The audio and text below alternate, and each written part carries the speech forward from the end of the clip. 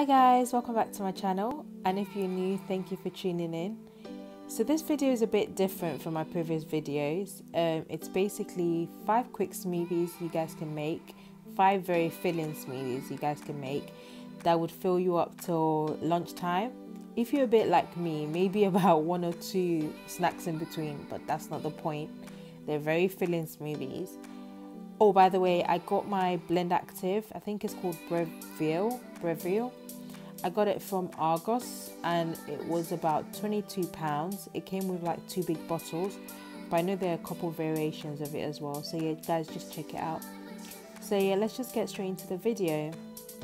So this first smoothie, I feel like is a bit of the controversial one because it's got spinach in it and everyone thinks like oh my god they can taste the spinach or they just make a face at the sight of spinach and smoothies. But i can assure you guys it tastes really good and you can't even taste the spinach in it. So in all my smoothies i always put oats in them and that's what makes it very filling. And like yeah.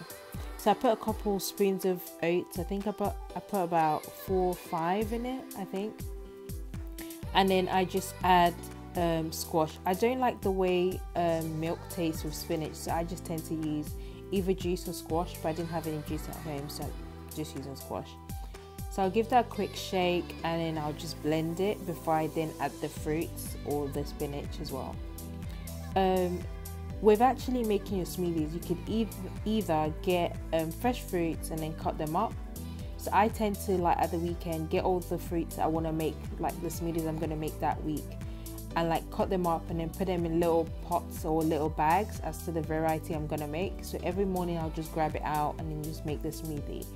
Or you could actually get the frozen fruits um, already pre-cut from the from any grocery store. Um, yeah, just depending on you. So I'm just putting the bananas in now.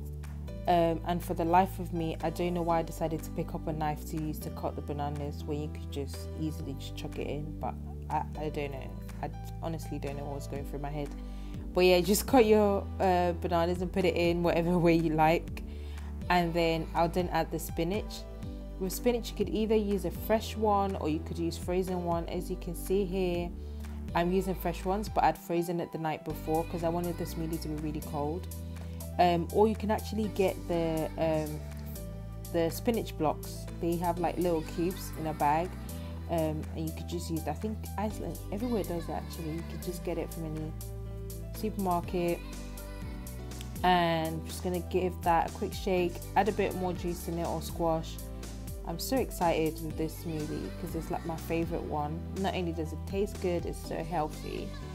So I'm just gonna give that a quick blend. Blend, blend, blend. So yeah, when that's done, you can either leave it in the little bottle you've got, or big bottle rather, um, if you're on the go, or if you're at home and you just want to feel a bit more relaxed, whatever, just pour it in the little jar. So I just poured mine in the jar, and it was obviously cold because the, the spinach was frozen, so it was ready to have then. Or if you would prefer, just put it in the fridge or freezer to get it even more chilled.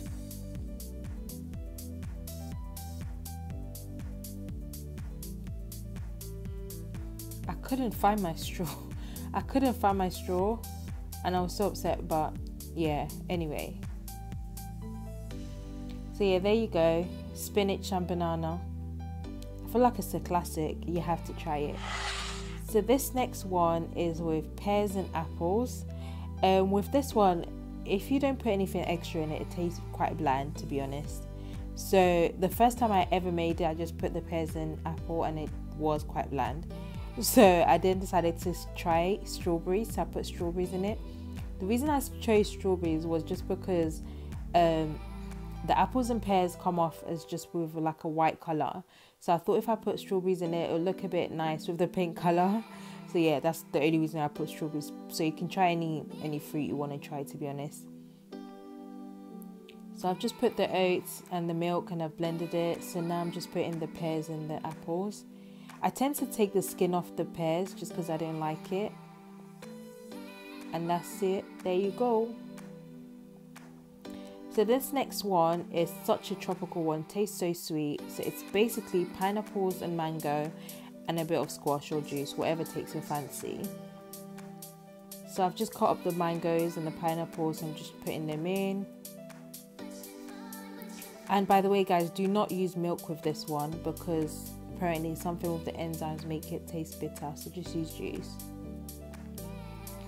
So there you go. This next one, um, so I've just put the oats and I'm adding milk in it now. And I'm just going to give it a quick blend.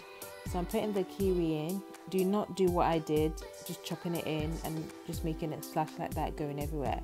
So I learnt my lesson the second one. so I just put the kiwi and then bananas.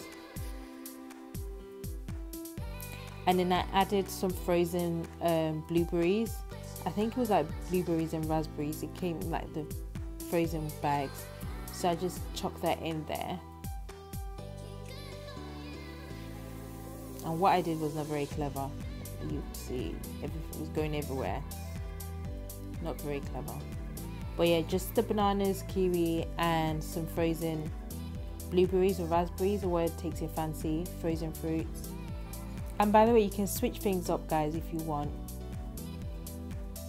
And there you go. You get that. Such a nice color. This next one this is the last one and it's with carrots. The carrots can have a very very strong taste so just be careful just not to put a lot in it. So I've just put carrots and I use peaches. Was it peaches or nectarine? I'm not too sure now. Um, and some bananas actually by the time I was done with this the carrots was really strong so I added a bit more nectarine in it just to make it sweet but yeah there you go guys I hope you try this recipes. Thank you for watching.